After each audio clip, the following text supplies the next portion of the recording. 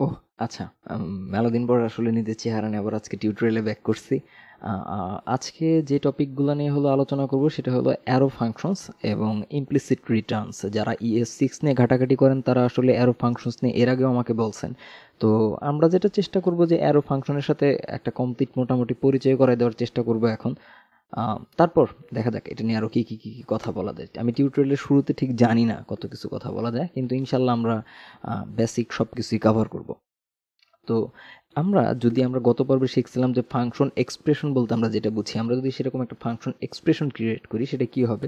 তো মনে করেন এটা আমরা সেভ করব স্কোয়ার দিয়ে। স্কোয়ার ইকুয়াল টু এখানে একটা আমরা ফাংশনস লিখব অ্যানোনিমাস ফাংশনস এবং তারপর আমরা এখানে মনে করেন স্কোয়ার করতে গেলে কি হবে? স্কোয়ার আমরা কাকে করতে চাই? একটা প্যারামিটার দিতে হবে। মনে করেন সেটা এক্স তাহলে এটাকে আমাদের কি করতে হবে? রিটার্ন করতে হবে। রিটার্ন এক্স ইন্টু এক্স ঠিক আছে? এখন আপনি যদি এটা রান করতে চান, এখানে দেখেন, এই যে স্কোয়ার লিখে আচ্ছা এটা আমাদের রিলোড করতে হবে। স্কোয়ার ধরেন আপনি স্কোয়ার লিখলেন স্কোয়ার লেখার পরে এর ভিতরে আপনি ধরেন দিলেন ফাইভ তাহলে হবে হলো পঁচিশ। ওকে এটার সাথে আমরা পরিচিত যে এটা ফাংশন এক্সপ্রেশন এইভাবে আমরা একটা ফাংশন ডিক্লেয়ার করে সেটা একটা ভ্যারিয়েবলের ভিতরে রাখতে পারি। আচ্ছা তো এই ফাংশন এক্সপ্রেশনকে আপনি চাইলে শর্ট করতে পারেন। আসলে শর্ট করার দরকারটা কি এটাও একটা মানে প্রশ্ন কেন শর্ট করার দরকারটা হয়? আপনি যখন ফাংশনাল প্রোগ্রামিং করবেন বা আপনি যখন অনেক লাইব্রেরি নিয়ে কাজ করবেন, তখন দেখবেন যে আপনার প্রচুর ফাংশনস আছে এবং একটা ফাংশনসের ভিতরে নেস্টেড ফাংশনস তারপরে কলব্যাক ফাংশনস তো এই সব জায়গায় ফাংশনস এতবার লেখার চাইতে এটার একটা কম্প্যাক্ট ওয়ে হইতেছে আপনার অ্যারো ফাংশন তো সেটা কীভাবে আমরা লিখতে পারি? এই স্কোয়ারটাকে আমরা এখন মনে করেন আরেকটা নেই, যেটার নাম দিই বর্গ, এবং সেখানে আমরা এইখানে যেটা করছি যে এই ফাংশন শব্দটা লিখছি, এই ফাংশন শব্দটা লিখব না। না লিখে আমরা করবোটা কি? আমাদের যেই প্যারামিটারটা আছে, সেই প্যারামিটারটা এখানে মনে করেন এক্স নেই, এইখানে আমরা দেব হলো এই অ্যারো সাইনটা। এটা মানে হলো অ্যারো ফাংশন এখন যদি আমরা রিটার্ন করি এক্স ইন্টু এক্স আচ্ছা এখানে একটা জিনিস দেখতেছেন যে আমি যেভাবে লিখতেছি, লেখার পরে সেভ দিলে সেটা অটোমেটিক্যালি সুন্দর হয়ে যেতেছে ফরম্যাট হয়ে যেতেছে। এটা হলো প্রেটিফায়ার নামে একটা অ্যাডন্স আছে আপনার, ওইটা দিয়ে আপনি এটা করতে পারবেন। ওকে তাহলে বারবার আপনার ঠিক করতে হবে না সেভ করলে সেটা অটো ফরম্যাট হয়ে যাবে। তাহলে এইখানে আমরা এই বর্গ দিয়ে আমরা এখানে কি করলাম? যে এখানে আমরা ধরেন একটা আপাতত একটা স্কোয়ার দিই ফার্স্ট ব্র্যাকেট দিই সরি তো এই ফার্স্ট ব্র্যাকেটের ব্যাপারটা যেটা দাঁড়াইতেছে, আপনি দিলেন তার মানে ফাংশন শব্দটার পরিবর্তে আপনি এই অ্যারোটা দিলেন। আচ্ছা তো দেখি এটা রান করে কিনা। এটা যদি আমরা এখানে রিলোড করি রিলোড করলাম এবং রিলোড করার পরে এখানে আমরা মনে করেন বর্গ লিখব। বর্গ লেখার পরে এখানে আমরা মনে করেন লিখলাম সেভেন এবং ফোরটি নাইন তার মানে আমাদের এক্স্যাক্ট সেম মানটাই কিন্তু আমরা এখান থেকে পাইছি, কোনো প্রকার কোনো সমস্যা হয় নাই। আচ্ছা ওকে যদিও আমরা এখানে ব্র্যাকেট দিই নেই ব্র্যাকেট না দিয়ে সেভ করছি ব্র্যাকেট টেকনিক্যালি এখানে যখন আমি সেভ করবেন, দেখেন এটা অটোমেটিক চলে গেছে, এটার একটা কারণ আছে, এটার কারণটা আমি আপনাকে বলতেছি, যদি আপনার প্যারামিটার একটা থাকে, এখানে প্যারামিটার কয়টা? একটা, তাহলে সেক্ষেত্রে আপনার ফার্স্ট ব্র্যাকেটটা অপশনাল, আপনি এই ফার্স্ট ব্র্যাকেটটা না দিলেও পারেন, ঠিক আছে? বাট আপনার যদি প্যারামিটার একটার অধিক থাকে, তখন কি হবে? তো মনে করেন আপনি আবার একটা বানান, এটার নাম দেন হলো অ্যাড অ্যাড ইকুয়াল টু আপনি একইভাবে আপনার দুইটা প্যারামিটার লাগবে, কাকে কাকে যোগ করতে চান এ এবং বি কে আপনি ধরেন যোগ করতে চান। তারপর আপনি একটা অ্যারো ফাংশন নেবেন এবং এখানে আপনি যদি রিটার্ন এ প্লাস বি এটা লেখেন, এটা যদি সেভ করেন, এখন দেখেন এখানে আপনি রিলোড করেন অ্যাড এখানে আমার দুইটা দিতে হবে ফাইভ টেন পনেরো হইল। বাট দেখেন তো, এখন কিন্তু ফার্স্ট ব্র্যাকেটটা আমার চলে যায় নাই। আমার প্রেটিফায়ার অটোমেটিক্যালি আমার ফার্স্ট ব্র্যাকেটটা এখানে দূর করে দেয় নাই। এটার কারণটা হলো, যখন আপনার প্যারামিটার একটার বেশি হবে, তখন অবশ্যই আপনাকে এটা ব্র্যাকেটের ভিতরে রাখতে হবে। এটার একদম মানে মাস্ট বি তা না হলে এটা কাজ করবে না। আপনি এটা ছাড়া করার চেষ্টা করে দেখেন। দেখেন, এটা কাজ করবে না। দেখেন সিনট্যাক্স আপনাকে বলতেছে missing initialiser in constant declaration মানে এইখানে আমাদের এটা যদি কাজ করাইতে চাই অ্যারো ফাংশনে তাহলে যদি আমাদের প্যারামিটার একটার বেশি থাকে, তাহলে অবশ্যই সেটাকে আমাদের ফার্স্ট ব্র্যাকেটের ভিতরে রাখতে হবে, তাহলে সেটা সম্ভব। আর যদি আপনার প্যারামিটার একটা থাকে, তাহলে সেক্ষেত্রে আপনার ফার্স্ট ব্র্যাকেটটা কমপ্লিটলি অপশনাল আপনি সেটা না দিলেও হবে, ঠিক আছে?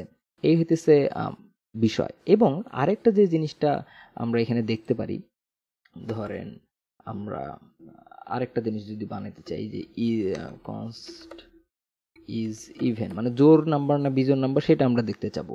তো একইভাবে এখানে যদি আমরা আমাদের একটা প্যারামিটার নেই, মনে করেন সেটা আমাদের এক্স আমরা দেখব যে যে প্যারামিটারটা দেওয়া হইতেছে সেটা কি জোর না বিজোর? আচ্ছা তো আমরা এখানে রিটার্ন কি করব? রিটার্ন করব হলো এক্স ডিভাইডেড বাই এবং মডিউলাস যেটাকে আমরা বলব যে টু আমি লাইনটা একটু ব্যাখ্যা করব, যদি এটা নিয়ে আমাদের ভিডিও আছে।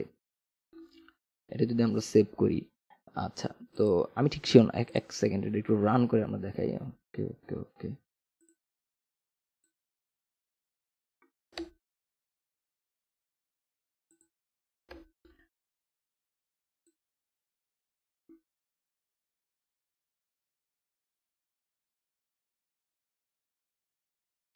চিন্তা করেন, অমনোযোগিতার লেভেল ঠিক আমার কোন লেভেলে গেছে? আচ্ছা। এখন যদি আমরা রিলোড করি, তো সেক্ষেত্রে আমরা কি দেখব? যে ইজ ইভেন এইখানে আমরা যদি টোয়েন্টি ফাইভ ফিফটি সেভেন দিই, দেখেন ফিফটি সেভেন কিন্তু আমাদের ফলস দেখাইতেছে। আমরা যদি ফিফটি সিক্স দিই, তাহলে আমাদের ট্রু দেখাইতেছে। আচ্ছা এটা কাজ করে নাই কেন? কারণ কাজ করে নাই আমি এখানে অ্যারো ফাংশনই দিই নিই। যদি আমি ভিডিও বানাইতেছি অ্যারো ফাংশন নিয়ে সরি ফর দ্যাট আচ্ছা এখন ব্যাপারটা যেটা হইতেছে যে, এইভাবে তো আমরা দেখতে পারলাম। এটা হলো আমাদের অ্যারো ফাংশনের একদম বেসিক তার মানে টেকনিক্যালি এই ফাংশনটা এবং এই বর্গ ফাংশনটা এদের কিন্তু পুরোপুরি অ্যাজ এ ফাংশন হিসেবে কাজ আলাদা।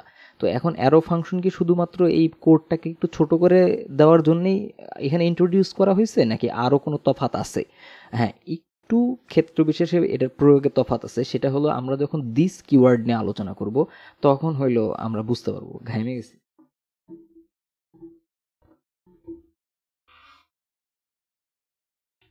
তো দিস কিওয়ার্ড নিয়ে যখন আলোচনা করব, তখন আমরা তফাতটা দেখতে পারব। তবে এইটুকু শুধুমাত্র মনে রাখেন যে দিস কিওয়ার্ডের একটা সার্টেন সময় ছাড়া দিস কিওয়ার্ড ছাড়া সবসময় এই ফাংশনটা নর্মাল যে ফাংশনটা ফাংশন এক্সপ্রেশন যেটাকে আমরা বলি, এবং আমাদের এই যে যে ফাংশনটা অ্যারো ফাংশন সেটা কমপ্লিটলি আইডেন্টিক্যাল তারা সেম কাজটাই করে।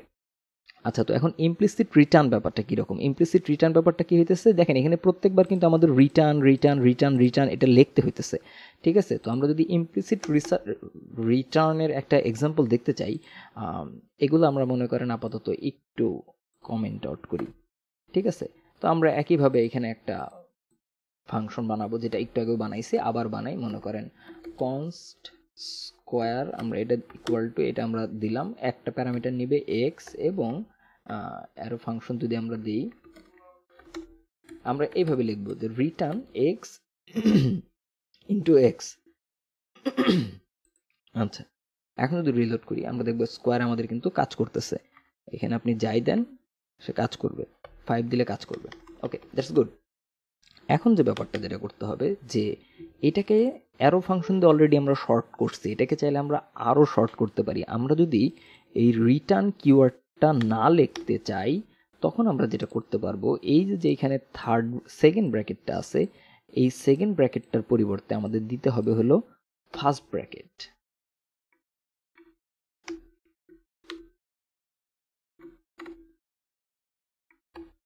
ওকে তাহলে পুরো ব্যাপারটা কি দাঁড়াইলো?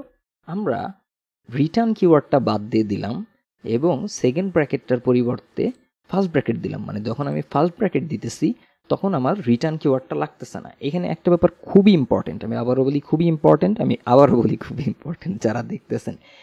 এইটা তখনই মাত্র সম্ভব হবে যখন আপনার একটা মাত্র এক্সপ্রেশন থাকবে। মানে একটা এক্সপ্রেশন আপনি রিটার্ন করতে চাইতেছেন। এখানে আপনি আলাদা ভ্যারিয়েবল ডিক্লেয়ার করবেন, আলাদা ইফ এলস লজিক দিবেন, তখন এটা কাজ করবে না। এখানে একটা স্টেটমেন্টে আপনি যে ভ্যালুটা রিটার্ন করতে চান, সেটা এই ফার্স্ট ব্র্যাকেটের ভিতরে থাকবে। এটি হলো ইমপ্লিসিট রিটার্ন এবং দেখেন, এখন যদি আমরা এটা সেভ করি, এখন যদি একইভাবে আমরা স্কোয়ার লিখি, এবং এখানে যদি আমরা মনে করেন ফাইভ লিখি, পঁচিশ হবে।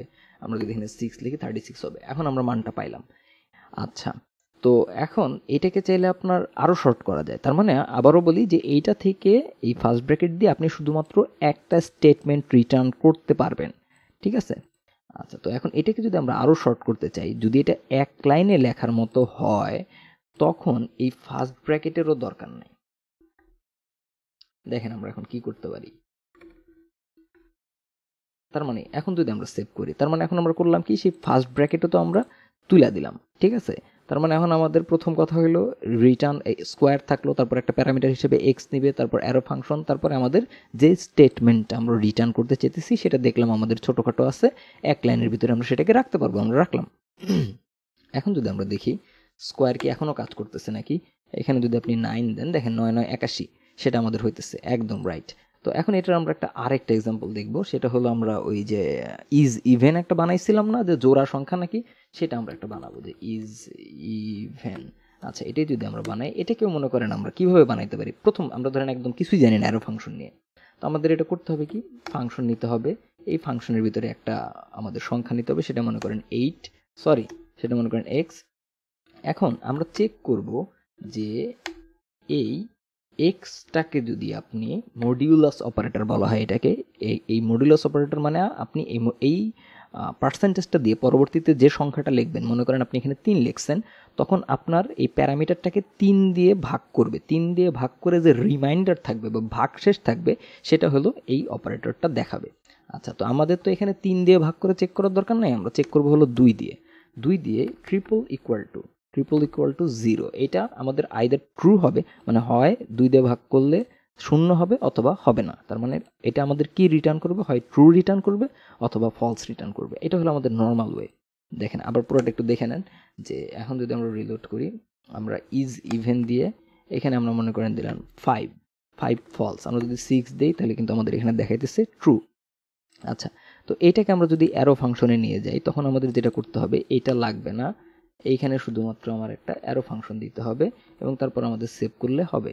এখন যদি আমরা আবার রিলোড করি রিলোড করি এবং এখানে যদি আমরা আবার লিখি যে ইজ ইভেন এখন আমরা ধরেন দিলাম সিক্স ট্রু আমরা যদি এখানে ফাইভ দিই ফলস ঠিক আছে? আচ্ছা। তো এই হইতেছে ব্যাপার। এখন আপনাদের কাছে একটা প্রশ্ন, যখন জাস্ট ইজ ইভেন লেখা যাইতেছে, এরকম লেখা যাইতেছে, তখন কেন ফলস দেখাইতেছে? তখন কেন ট্রু দেখাইতেছে না? এটার অ্যান্সারটা দেখি কেউ দিতে পারেন নাকি আমাকে? সেটা কমেন্টেই হোক বা অন্য কোথাওই হোক। এটা আপনাদের জন্য একটা কুইজ যে যখন এই প্যারামিটারের কোনো ভ্যালু দেওয়া হইতেছে না, তখন কেন এটা ফলস বলতেছে? আচ্ছা তো এইটাকে এখন যদি আমরা ওই ইমপ্লিসিট রিটার্নে করতে চাই, তখন আমাদের এই সেকেন্ড ব্র্যাকেটটা তো তুলে দিতে হবে।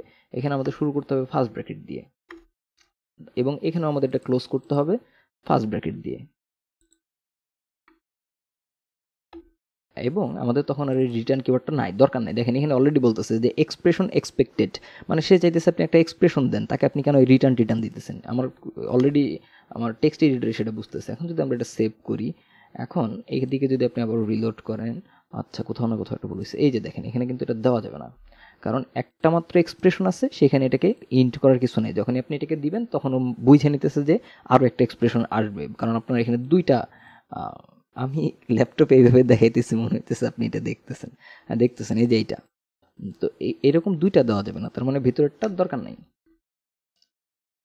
এবং দেখেন, আমার এটা প্রিটিফায়ার যেটা করছে অটোমেটিক্যালি এক লাইনে ব্যাপারটাকে নিয়ে গেছে। আমরা যদি কন্ট্রোল জেড দিই, দেখেন আমি মূলত এটা দেখাইতে চাইছিলাম যে আপনার তখন তাহলে আর রিটার্নটা দেওয়ার দরকার নাই, এক লাইনের ভিতরেই ফার্স্ট ব্র্যাকেট দিয়ে আপনি এটাকে এইভাবে কাজ করাইতে পারবেন। এখন যদি আপনি এটা সেভ করেন, দেখেন আমার প্রেটিফায়ার অটোমেটিক সেটাকে ওই জায়গায় নিয়ে গেছে। আমি যদি প্রেটিফায়ারটা আপাতত একটু বন্ধ রাখি, রাখতে চাই, আমি কি এখানে পারব?